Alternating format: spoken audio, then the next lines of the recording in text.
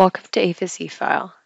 In this video, we are going to show you a walkthrough of how to respond to draft permit conditions for PPQ permit applications. This is the process if you do not have an APHIS eFile account and mailed in or emailed your application to the permitting team. If you have draft conditions to review, they'll be sent to you via the email you provided on your application. Navigate to your inbox and find the email sent from review at clm.docusign.net. The email subject will be APHIS eFile Permit Condition Review. As the email explains, to review the permit conditions, you have to select the Review Online hyperlink.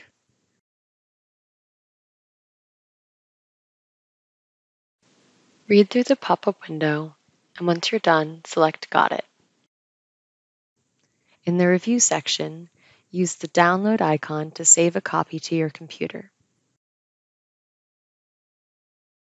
Once the copy is downloaded, read through each one of the conditions and then edit the Word document and add your responses. Agree or disagree with each condition.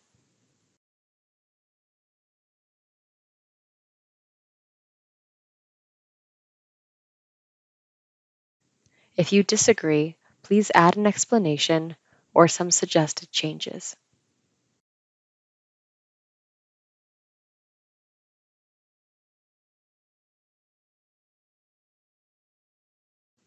Save your document once you are done editing the conditions, and then navigate back to the screen where you can select Next to land on the Edit section of the page.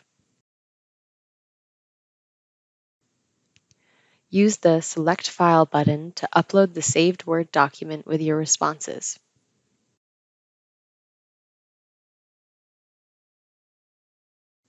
After you upload the file, select Next in the Edit section, which will bring you to the Comments section.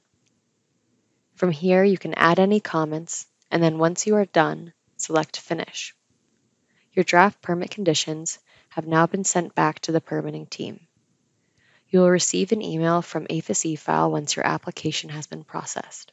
At that point, you can view your application outcomes. You will also receive an email whenever a permit or letter is issued and when there are additional actions you need to take. Thank you for watching.